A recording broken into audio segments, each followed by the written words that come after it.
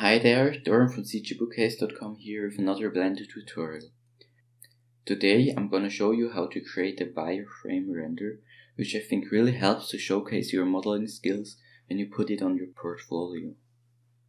For this tutorial I'm gonna use the chocolate product installation I did a few months ago. You can download the scenes on the blog post on cgbookcase.com.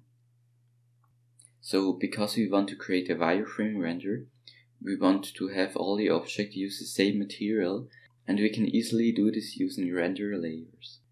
First, we're gonna go to the layers tab, create a new render layer and name it wireframe or whatever you like to name it.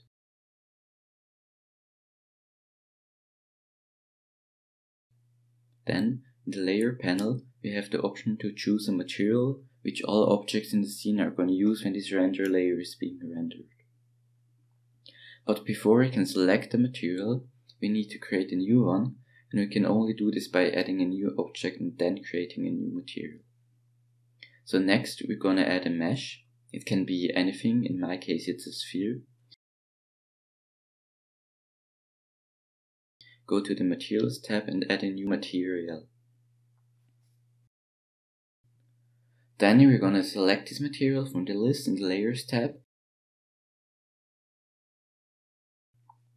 Then we're gonna open the node editor to edit the material, delete the diffuse shader added by default, and add an ambient occlusion shader.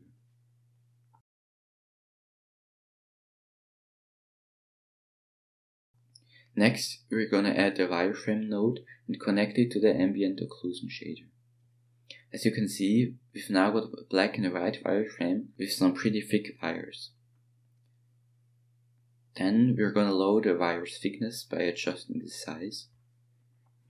Next we're going to add a color ramp and invert the colors by pressing this little switch button.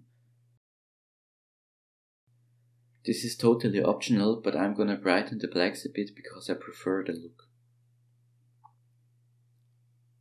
We're almost done with this tutorial. The last thing we have to do is to render it. So we're gonna activate denoising Set the view to default because there is no real benefit using the filmic view when using an ambient occlusion shader. Choose a relatively low amount of samples and press F12 to render the image. Thank you so much for watching. As I said in the beginning, you can download the file for free on cgbookcase.com if you're interested.